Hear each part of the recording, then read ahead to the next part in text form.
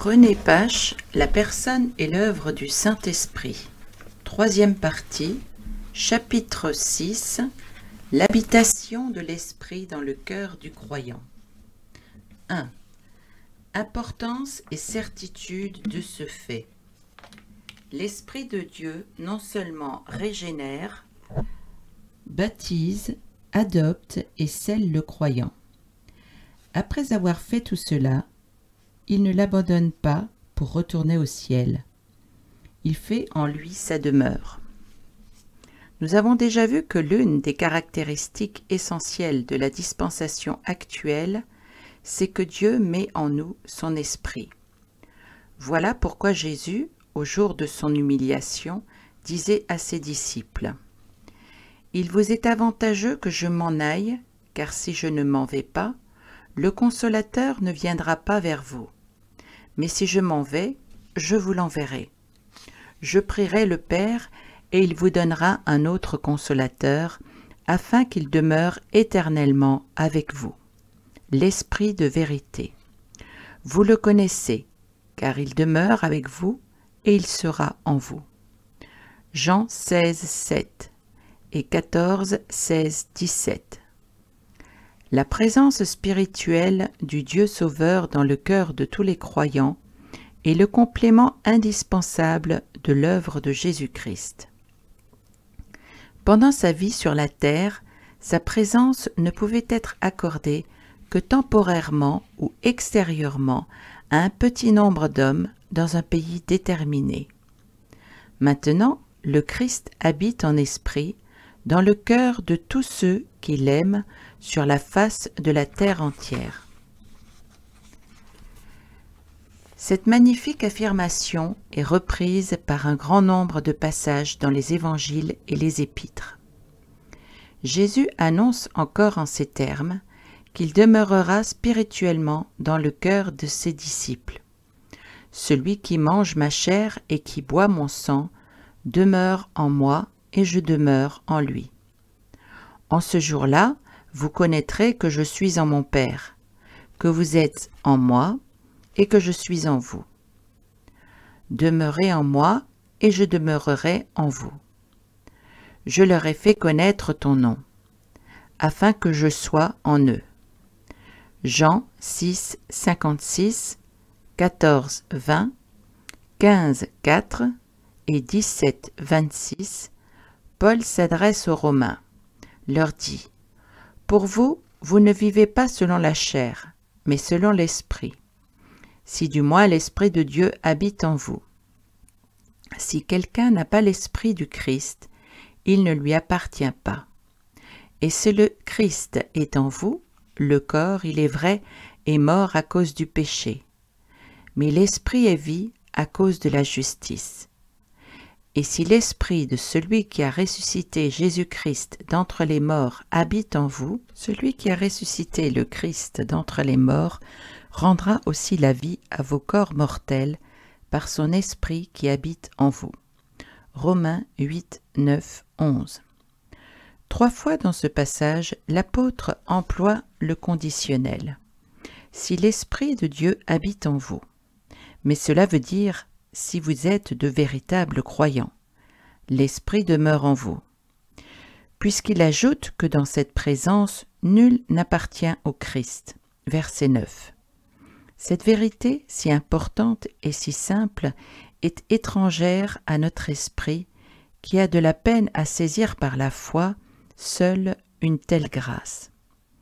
De nos jours, beaucoup d'enfants de Dieu ignorent que l'Esprit habite en eux et déjà l'apôtre Paul posait par trois fois aux Corinthiens la même question capitale.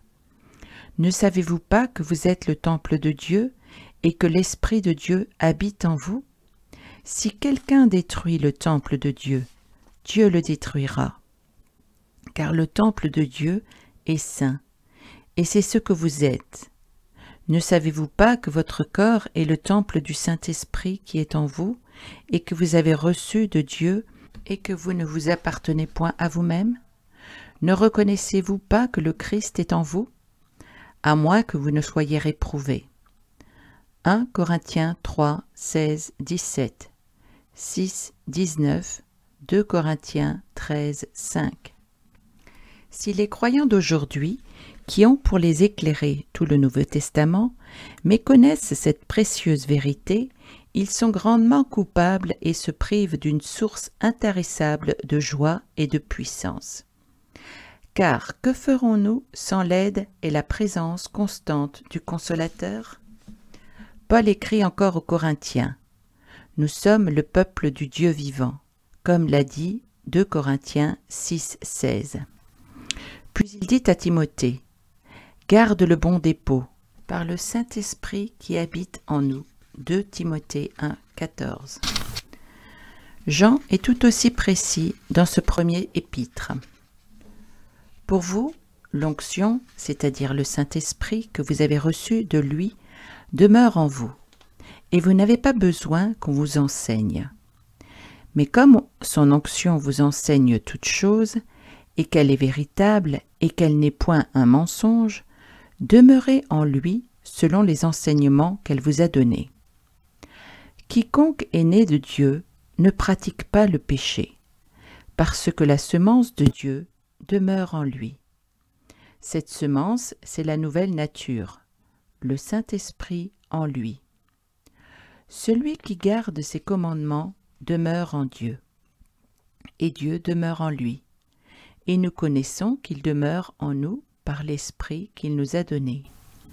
Celui qui est en vous est plus grand que celui qui est dans le monde. Si nous nous aimons les uns les autres, Dieu demeure en nous, et son amour est parfait en nous. Nous connaissons que nous demeurons en lui et qu'il demeure en nous, en ce qu'il nous a donné de son esprit. Celui qui confessera que Jésus est le Fils de Dieu, Dieu demeure en lui, et lui en Dieu. 1 Jean 2, 27, 3, 9, 24, 4, 4, 12, 13, 15, etc. Jacques enfin ajoute C'est avec jalousie que Dieu chérit l'esprit qu'il a fait habiter en nous. 4, 5. Voici donc un fait certain et abondamment démontré. Dieu fait résider son esprit dans le cœur de tout croyant. 2. L'esprit habite-t-il seul en nous? Cette question est importante. Certains pourraient penser, en effet, qu'après avoir reçu l'Esprit, la troisième personne de la Trinité, elle n'aurait en quelque sorte plus besoin des deux autres. Le Saint-Esprit remplacerait et mettrait de côté, si l'on ose dire, le Père et le Fils. Il n'en est rien, ainsi que le montre clairement l'Écriture. 1. Avec l'Esprit, Dieu le Père met en nous sa présence. Nous n'avons qu'à rappeler, pour le prouver, tous les textes de la première épître de Jean cités ci-dessus. Bornons-nous à relever ceci. Celui qui garde ses commandements demeure en Dieu, et Dieu demeure en lui. Et nous connaissons qu'il demeure en nous par l'Esprit qu'il nous a donné. 1 Jean 3, 24. Paul dit que chaque croyant est le temple de Dieu et que les croyants tous ensemble forment l'Église, sont édifiés pour être une habitation de Dieu en esprit. 1 Corinthiens 3.16 et Éphésiens 2, 22. 2. Avec l'Esprit, nous recevons également la présence de Dieu le Fils. La prière de Paul pour les Éphésiens est qu'ils soient puissamment fortifiés par l'Esprit dans l'homme intérieur en sorte que le Christ habite dans leur cœur par la foi. Éphésiens 3, 16, 17. Aussi, lorsque le même apôtre parle de la présence divine dans nos cœurs, mentionne indifféremment Dieu, le Fils ou le Saint-Esprit. Il s'écrit Ce n'est plus moi qui vis, c'est le Christ qui vit en moi. Galates 2, 20. Il résume la vie spirituelle en ces mots. Le Christ en vous, l'espérance de la gloire. Colossiens 1, 27.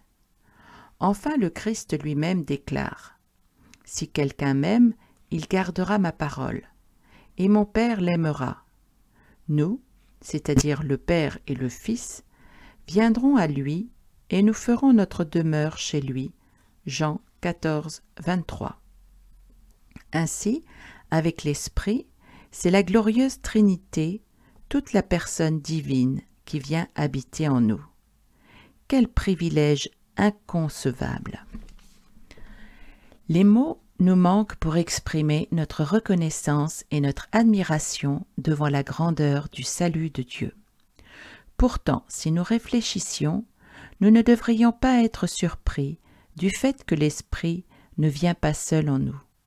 Les trois personnes de la Trinité sont une et n'agissent pas séparément. Elles ont pu paraître jusqu'à un certain point dissociées pendant l'incarnation du Fils, et pourtant le Père et l'Esprit étaient en lui et l'accompagnaient sans cesse. Mais depuis sa glorification, elles ont repris leur rapport éternel, et maintenant en nous, ces trois personnes habitent et poursuivent ensemble leur œuvre de parfaite rédemption. 3. Combien de temps l'Esprit demeure-t-il en nous? Beaucoup de chrétiens sont prêts à croire que l'Esprit leur avait été donné et habité dans leur cœur lors de leur conversion. Mais ils pensent qu'après certaines chutes, l'Esprit s'est retiré et les a abandonnés. Est-ce bien ce qu'enseigne l'Écriture? Jésus dit au contraire à ses disciples. Je prierai le Père et il vous donnera un autre consolateur, afin qu'il demeure éternellement avec vous. Jean 14, 16. L'Esprit nous est donné non pour un peu de temps, mais pour toujours. S'il nous quittait, ne fût-ce qu'un instant, nous perdrions aussitôt la vie spirituelle et retomberions dans la mort. Car notre vie, c'est le Christ, et il n'est en nous qu'avec l'Esprit. C'est dans l'ancienne alliance que l'Esprit pouvait être retiré, il n'en est pas de même aujourd'hui. Un croyant sincère ne peut-il donc pas perdre le Saint-Esprit? Nous ne le croyons pas, et pensons au contraire qu'il prouvera la sincérité de la foi et la réalité de sa régénération en persévérant jusqu'à la fin, en se laissant châtier, ramener et sanctifier par Dieu. Voyez à ce propos ce que nous disions sur le péché contre le Saint-Esprit et les chrétiens, page 61. Mais prenons garde, sous prétexte que l'Esprit demeure en nous éternellement, de ne pas vivre selon la chair et de refuser de nous sanctifier. Nous aboutirions à la mort et à un châtiment pire que celui des incrédules. Qu'arrive-t-il alors lorsqu'un enfant de Dieu pêche avant qu'il ait confessé et abandonné ce péché? L'esprit est contristé et cesse aussitôt de manifester sa puissance. Mais ceci est un autre sujet que nous traiterons dans notre prochain chapitre. 4. À quel moment et en qui l'Esprit fait-il sa demeure? 1. L'Esprit habite dans le cœur des enfants de Dieu dès le moment où ils croient au Sauveur. Jésus parlant à ses disciples leur dit que le Père leur donnera l'Esprit de vérité, que le monde, c'est-à-dire les inconvertis, ne peuvent recevoir parce qu'ils ne le voient point. Mais vous, vous le connaissez, car il demeure avec vous et il sera en vous. Jean 14, 17. Il est évident que ceux qui repoussent Jésus-Christ ne sauraient recevoir son esprit. Par contre, la seule condition pour que l'esprit vienne habiter dans un cœur et que ce cœur s'ouvre au Sauveur par la foi, celui qui confesse que Jésus est le Fils de Dieu, Dieu demeure en lui et lui en Dieu. 1 Jean 4, 15 Voici, je me tiens à la porte et je frappe.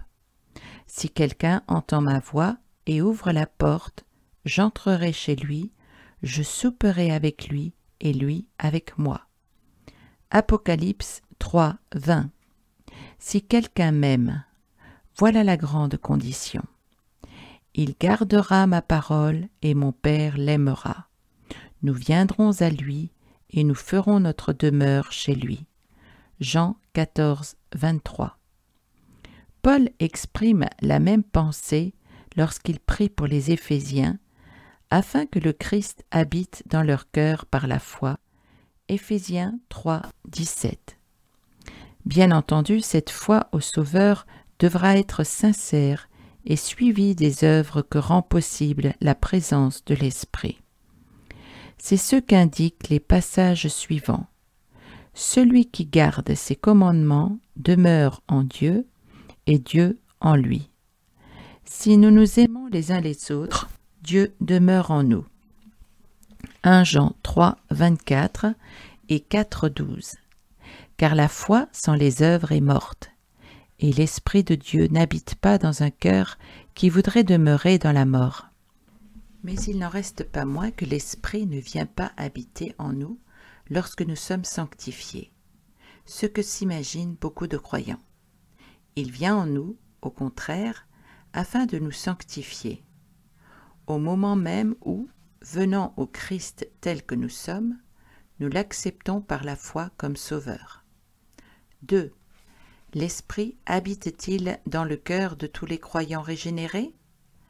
Certains pensent que la présence constante de l'Esprit n'est accordée qu'aux enfants de Dieu les plus avancés, après certaines expériences postérieures à la régénération.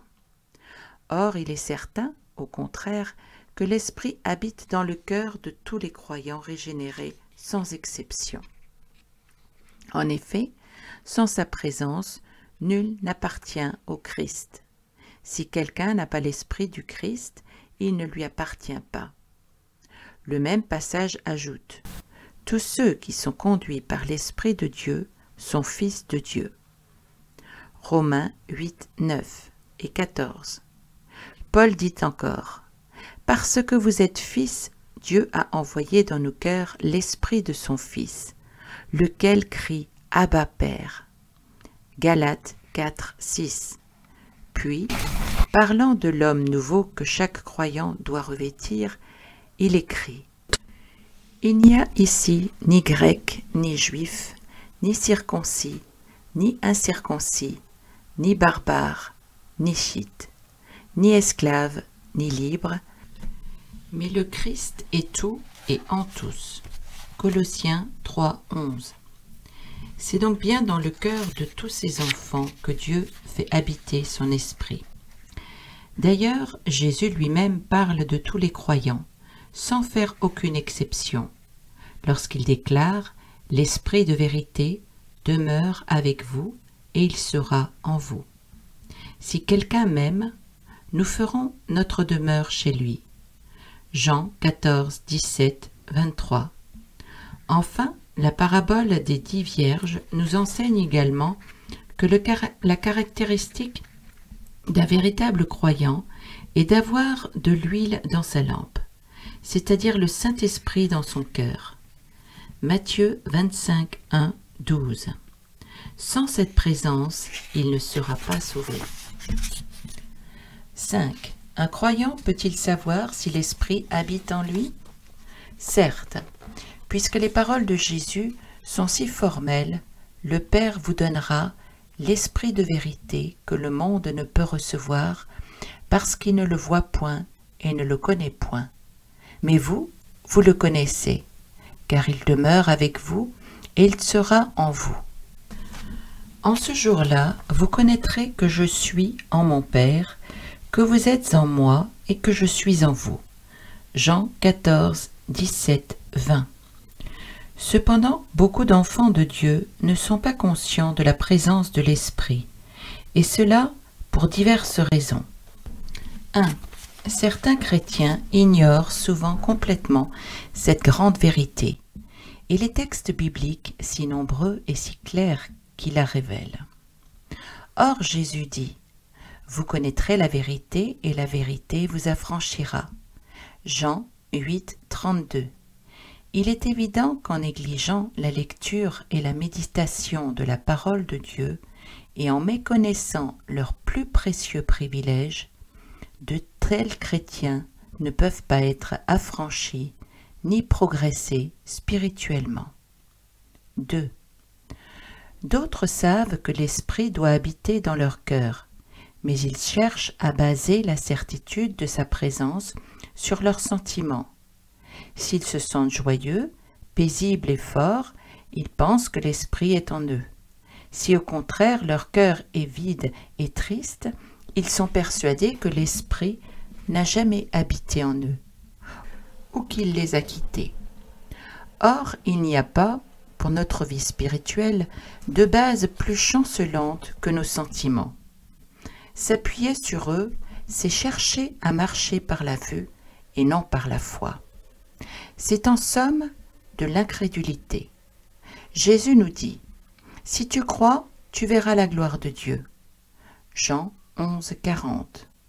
Nous voudrions faire l'inverse, et d'abord voir et sentir.